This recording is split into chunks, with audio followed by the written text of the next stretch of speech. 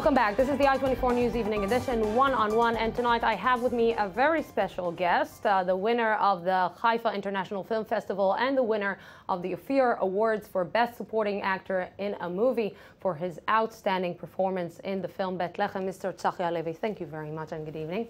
Good evening. Thank you for inviting me. You know, the last Mr. Halevi that was here in the studio is former head of the Mossad, Ooh. Ephraim Halevi. Okay. So you're in a good place.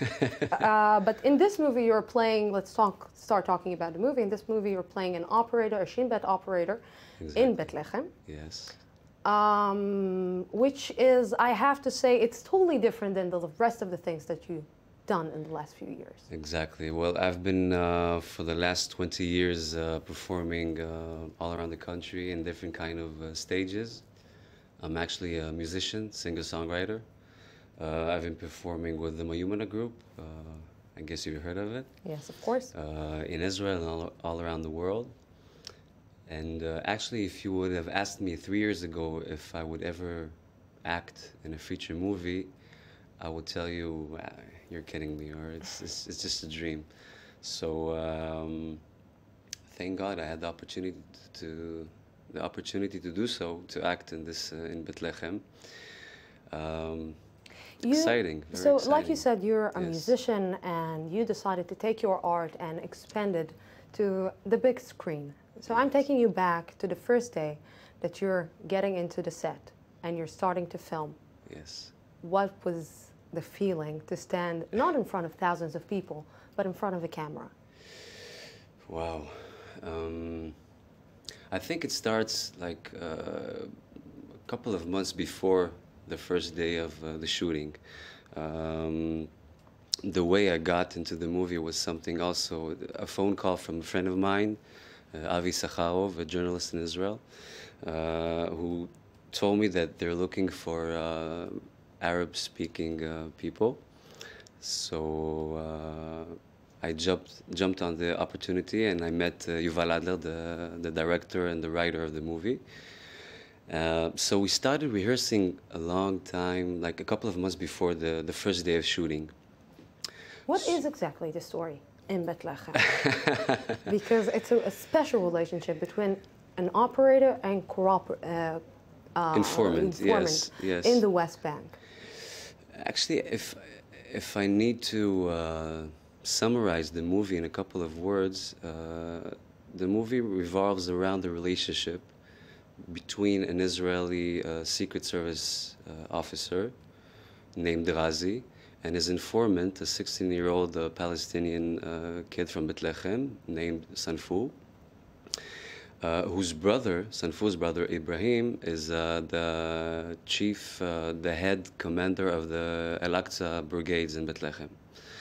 So the whole plot revolves around this relationship and the conflicts of, of each character. Um, and after two years of relationship, which, if I summarize the relationship between them, um, Sanfur lacks a father figure home at his house, and uh, Razi, the the officer, like uh, fills up this gap for him, uh, and for and vice versa. and vice versa. Exactly for Razi, who's totally dedicated to his job, and he's always uh, at work. He hardly sees his kids and his uh, wife, so for him, Sanfur is a kind of uh, of uh, a child, and he really he really uh, feels for him. So um, eventually, after two years, uh, he's asked to uh, he has the opportunity to catch, to arrest the to brother. Arrest, yes, to arrest. But I don't want to continue because yeah. we need to let our viewers uh, see the go trailer. and see okay. the film. Let's look at a glimpse from the uh, movie. No problem.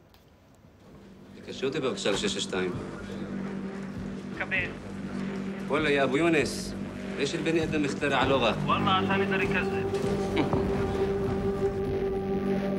צבא לוחצים, הם חייבים עוד אינפורמציה לגבי מיקום אפשרי של המתאבד. המתאבד לא בפנים, אני בטוח. הוא מתחבא איפשהו בתוך ירושלים. אני הולך להיפגש עם עשיו.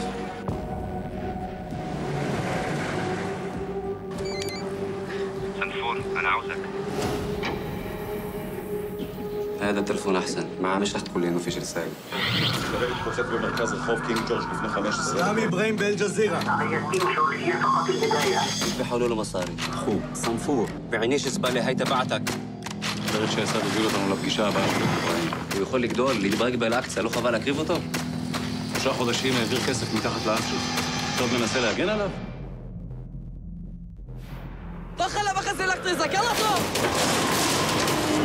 وين وين؟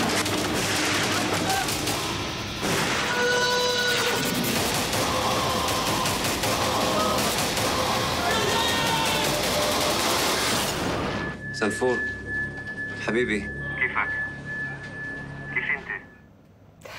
The first uh, reaction that uh, the viewers had in the cinema is at the end of the movie, they just sat down.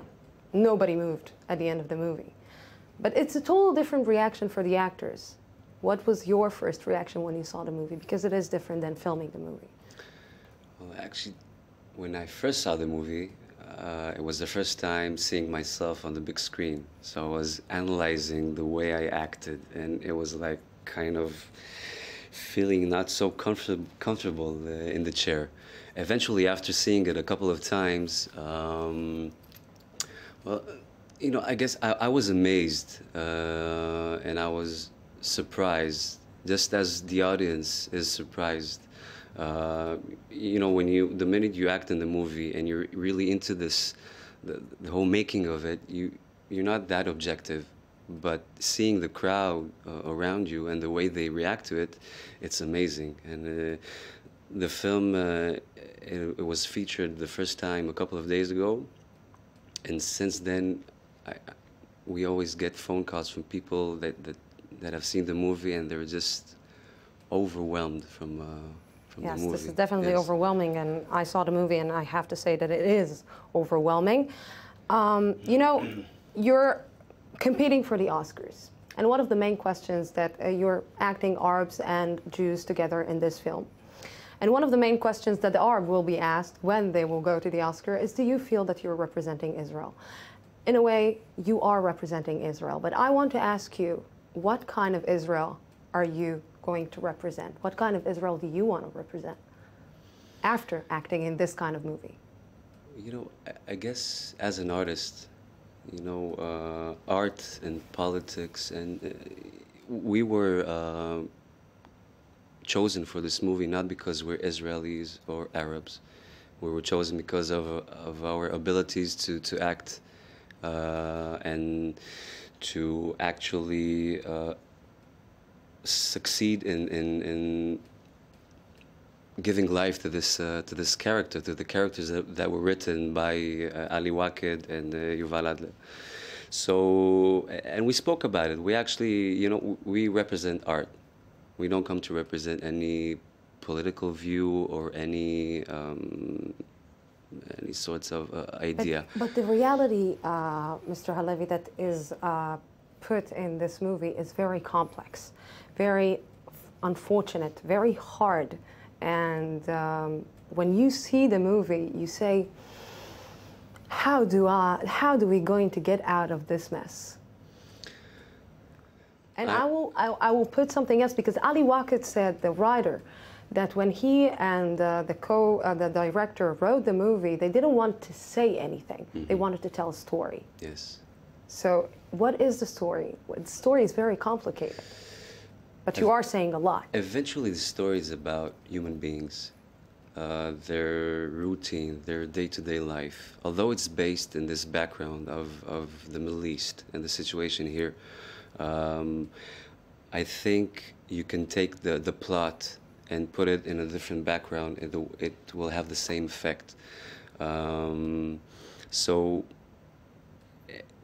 concerning the, the, the way people react to it, it's amazing to see that no matter what idea you have, whether you're Israeli, Arab, uh, religious, non religious, young, old, most of the reaction that, that at least I heard that it's such an, uh, a balanced movie. It has no, no saying, it doesn't choose a side. It really brings uh, out the humanity in all this situation, and of course, we need to add that it's it's an action movie. It's a thriller. It's a drama movie. It's it's there is a plot. So this is this is a, also what I think is different between Bethlehem and other movies made with this background, with this political background in Israel and the Middle East. Uh, You're talking about a background, and I Yes. don't want to get into your uh, military background because you uh, uh, were in an elite unit in the IDF, but uh, your personal background is very amazing. You lived in Denmark, in Brussels, in Rome, in Cairo, Cairo, in a. Maadi neighborhood in Cairo.